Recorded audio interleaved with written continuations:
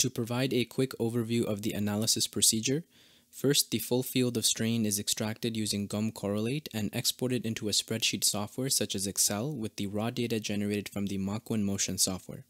Then the x-force obtained from the move relative function is used to calculate the shear stress which is then plotted against the shear strain of both layers in each sample. From this plot, the shear modulus can be determined by extracting the slope of the linear portion of the shear stress strain curve. First, install the latest version of GOM Correlate software. In this video, I will be using the 2019 version. Once installed, open the software and select New Project. Then immediately select File, Save As, and save your project as group number underscore team number underscore sample name dot gcorrelate. The sample name can be either neoprene or hydrogel according to the tested material. Select File, Import, and then File, and select all of the images from the appropriate folder. Then click Open. Click on Deformation Image and the software will proceed to import your images.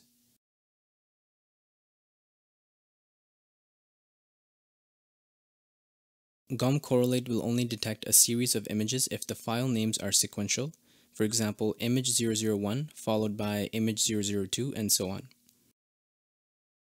To zoom on your images, use your mouse scroll. To move your image, press your mouse scroll down and move your mouse.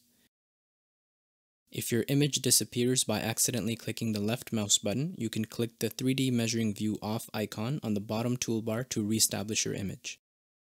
Select Operations, then Stage, then Manage Stages to open the Stage Management window. There, select all your images with the Ctrl plus A key combination and then click the Edit Timestamp icon. A window will appear where you will set the starting time to 0 seconds and the step size to 2 seconds as your images were acquired at 2 seconds per frame. Click OK and close the Manage Stages window. Select View, timeline and then time to set the timeline at the actual elapsed time. Select construct, component and then surface component and a window will appear.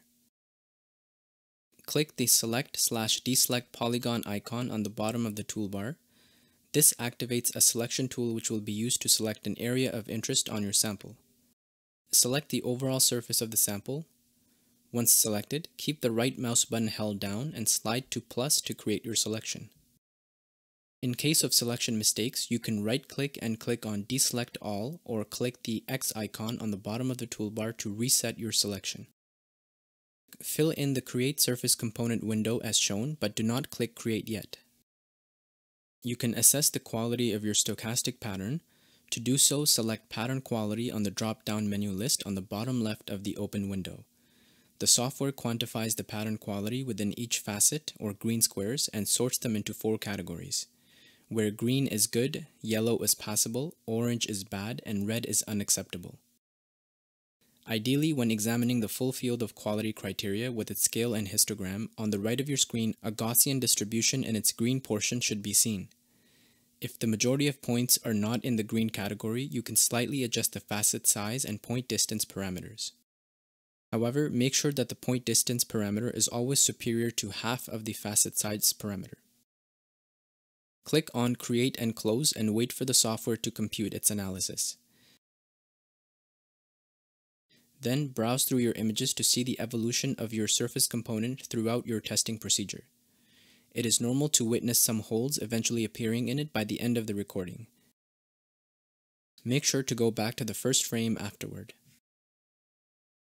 Select your surface component by left-clicking on it in the graphics view it will display the information on the right panel once selected. Then go to Inspection, check Dimensions, Strains, check Epsilon XY, and then Epsilon XY, and a window will appear. There, input against the reference stage. Then select View, Legend, and Show Histogram. Then go to View, Legend, and then Edit Legend, and a window will appear.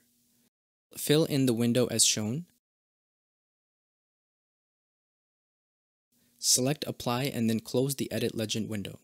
Then go to the last frame. A clear separation between the upper and lower layers should be noticeable. Take a print screen of your sample at this last frame including the scale and insert it into your report. With the Select slash Deselect on Surface tool, select an area corresponding to the upper layer. Then go to Operations, Component, and then Surface Component region, and a window will appear. Name this area Upper Layer and click on Create and Close. Select your newly created area component by left-clicking on it in the tree to the left of your screen. Then go to the Inspections, check Dimensions, Strains, check Epsilon XY, and then Arithmetic Mean, and a window will appear. There, input against the reference stage and click OK. Repeat the two previous steps for the lower layer.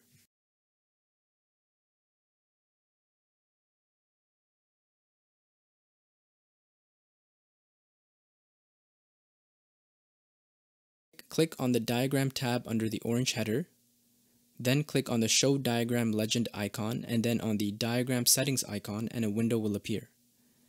In the General tab of this window, choose the display with the same unit together for the inspections and click OK.